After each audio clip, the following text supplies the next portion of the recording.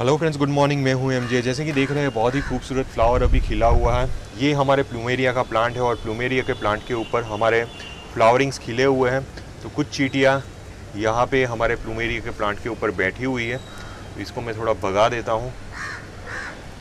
तो अब देखिए, इसकी खूबसूरती देखिए, बहुत ही खूबसूरत लग रहा है ये फ्लावर तो आज की वीडियो फ्रेंड्स ये टॉपिक पे है कि हमें मानसून की सीज़न में हमारे प्लूमेरिया के ऊपर ग्रोथ कैसे लानी है और इसके ऊपर हम फ्लावरिंग्स कैसे ला सकते हैं।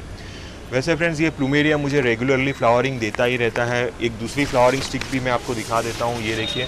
यहाँ पे फ्लावरिंग हो रही थी, लेकिन वो कट हो गई है तो मैंने अभी ये स्टिक निकाल दी। तो हमारे प्लूमेरिया फ्रेंड्स ये मानसून की सीज़न में अच्छी खासी फ्लावरिंग दे सकते हैं। अगर आपने इसको एक ऐसा फर्टिलाइज़र दिया है, जिसकी वजह से वो ग्रोथ अच्छी कर सकते हैं।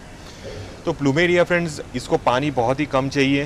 तो बारिशों की सीज़न में होता ऐसा है कि बारिशों का पानी बहुत ही ज़्यादा जाता है प्लांट की सॉइल के अंदर, जिसकी वजह से वो ग्रोथ बहुत ही अच्छी करेगा। इसके जो लीव्स हैं, लीव्स की कंडीशन बहुत ही अच्छी निकलेगी। लीव्स सारे ग्रीन निकलेंगे, लेकिन आपका प्लांट तब फ्लावरिंग नहीं करेगा।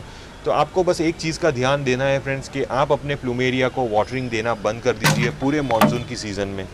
यानी कि फुल मानसून में हमें इसको पानी देने की ज़रूरत नहीं है। जितना ज़्यादा आप ये प्लांट को पानी दोगे, उतना ही ज़्यादा फ्रेंड्स ये प्लांट ग्रोथ करेगा और ये आपको फ्लावरिंग्स नहीं देगा।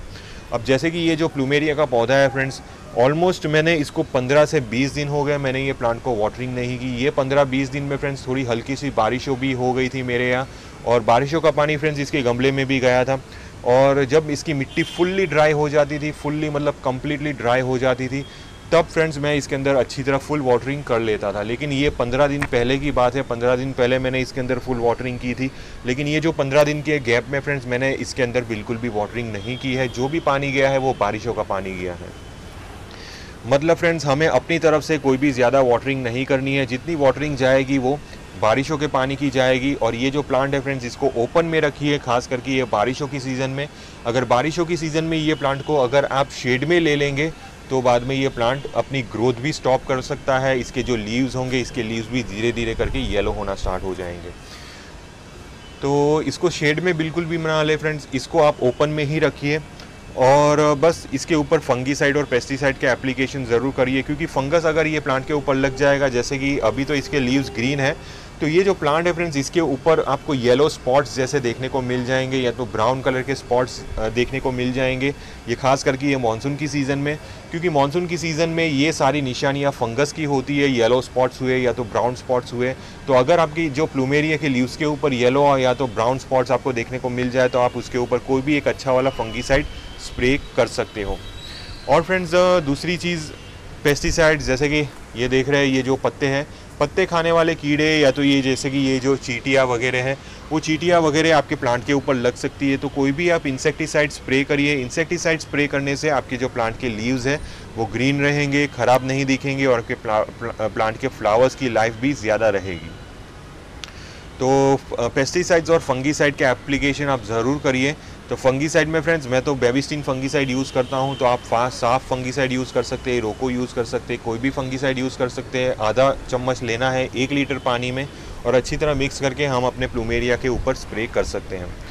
दूसरा फ्रेंड्स इंसेक्टिसाइड्स में बहुत सारे इंसेक्टिसाइड आएँगे अगर आप पेस्टिसाइड की शॉप पे जाएँगे और आ, कोई भी अच्छा वाला इंसेक्टिसाइड आप परचेज़ कर सकते हैं वहाँ से तो मैं तो जो यूज़ करता हूँ फ्रेंड्स मैं रोगोर और एडमायर यूज़ करता हूँ, दोनों में से कोई भी हमें एक स्प्रे करना है, या तो आप ऑर्गेनिक में जाना चाहते हो तो नीम ऑयल सबसे बेस्ट है। तो आप नीम ऑयल का स्प्रे कर सकते हो, क्योंकि प्लूमेरिया क्योंकि प्लूमेरिया के ऊपर फ्रेंड्स इतनी सारी बीमारियाँ नहीं लगती। तो अगर आप नीम ऑयल स्प्रे करते हो तो भी फ्रेंड्स ये प्लांट आपका कंट्रोल में रहेगा, कोई ज़्यादा बीमारियाँ वगैरह इसके ऊपर नहीं लगेगी।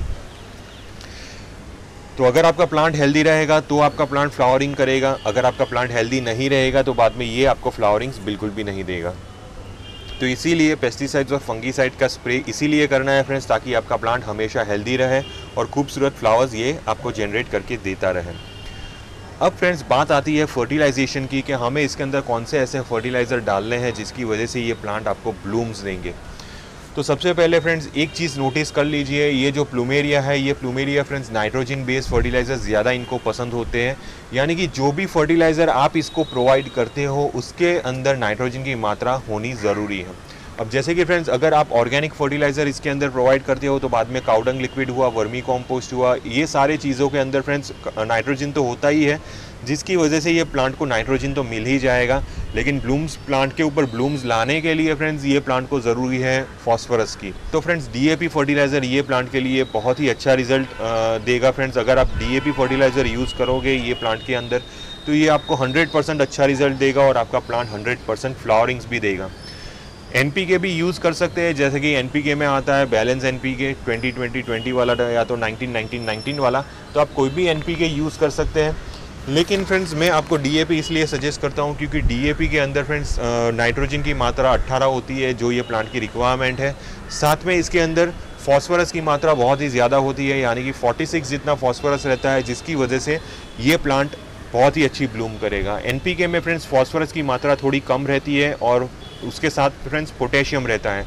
वैसे फ्रेंड्स ये जो प्लूमेरिया का पौधा है उसको पोटेशियम की रिक्वायरमेंट बहुत ही कम रहती है, उतनी ज़्यादा रिक्वायरमेंट इसको नहीं रहती। तो अगर आप इसको वर्मी कॉम्पोज या तो काउडंग लिक्विड वगैरह आप इसको प्रोवाइड करोगे तो उसके थ्रू ही ये पोटेशियम अपने अंदर ले लेगा। यानी कि जो जो नॉमिनल मात्रा में इसको पोटेशियम चाहिए तो वो ऑर्गेनिक फर्टिलाइज़र से इसको मिल जाएगी। ये प्लांट को ज़्यादा ज़रूरत होती है फ्रेंड्स फॉस्फोरस बेस और नाइट्रोजन बेस्ड फर्टिलाइज़र की। तो इसीलिए फ्रेंड्स मैं आप सभी को डीएपी ही सजेस्ट करता हूँ ये प्लांट्स के लिए।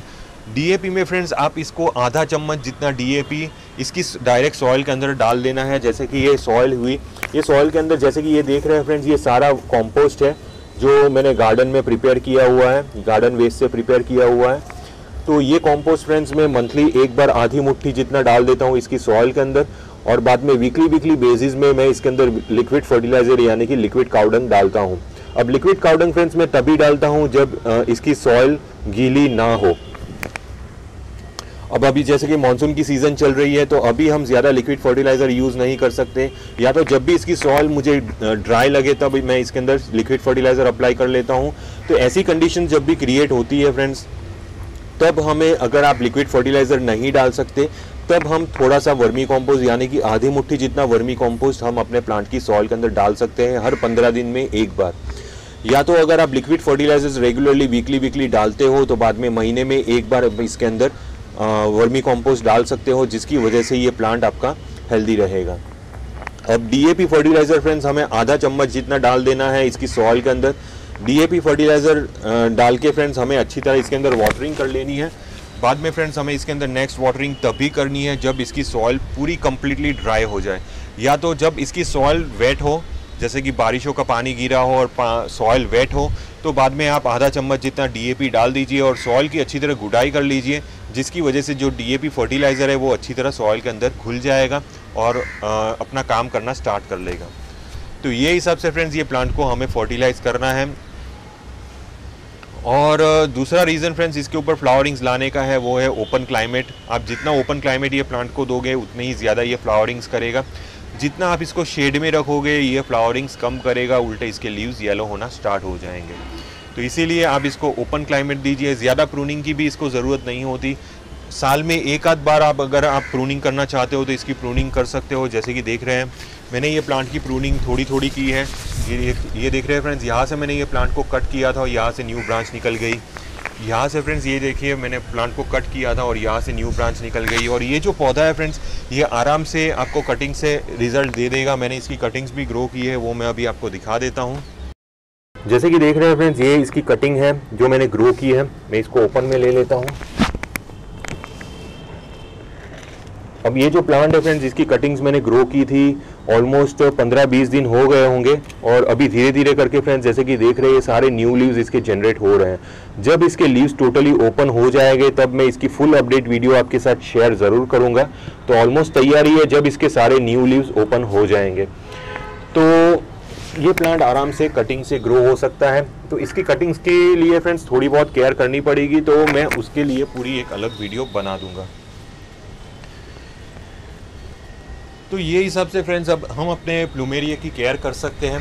प्लूमेरिया एक बहुत ही हार्डी प्लांट है फ्रेंड्स ये आपके यहाँ पूरे साल रह सकता है। सिर्फ़ विंटर्स में आपको दिक्कतों का फेस करना पड़ेगा, यानी कि विंटर्स में ये जो प्लांट है, ये अपने सारे लीव्स गिरा देगा और सिर्फ़ ये प्लांट की डंडियाँ रह जाएगी। या तो अगर आपने इसको फुल सनलाइट दी हो विंटर्स में तो इसके ऊपर आपको थोड़े थोड़े लीव्स लगते हुए दिख जाएँगे, लेकिन ज़्यादातर ये विंटर्स में ग्रोथ नहीं करेगा। विंटर्स में ये डोरमेंसी पोजीशन में चला जाएगा, यानी कि इसके ऊपर आपको ज़्यादा ग्रोथ नहीं देखेगी इसके लीव्स येलो होना स्टार्ट हो जाएँगे प्लांट फ्लावरिंग नहीं करेगा। तो आप सोचेंगे यार विंटर्स में क्या हो गया इसको तो विंटर्स इसकी सीज़न नहीं है। इसकी सीज़न स्टार्ट होती है विंटर्स के बाद यानी कि जनवरी फेबररी के महीने से इसकी सीज़न स्टार्ट हो जाती है और तब से फ्रेंड्स ये फ्लावरिंग्स भी आपको देगा। फ्लावरिंग्स फ्रेंड्स ये जनवरी से मार्च महीने तक बहुत ही अच्छी फ्लावरिंग्स आपको देगा लेकिन जैसे ये बहुत ही जब ज़्यादा तेज़ गर्मियाँ स्टार्ट हो जाती है बहुत ही तेज़ यानी कि 43, 42 डिग्रीज टेम्परेचर हो जाता है तो ऐसे में जब आप अपने ये प्लांट को बाहर रखते हैं फ्रेंड्स तब इसके ऊपर शायद फ्लावरिंग्स कम आए।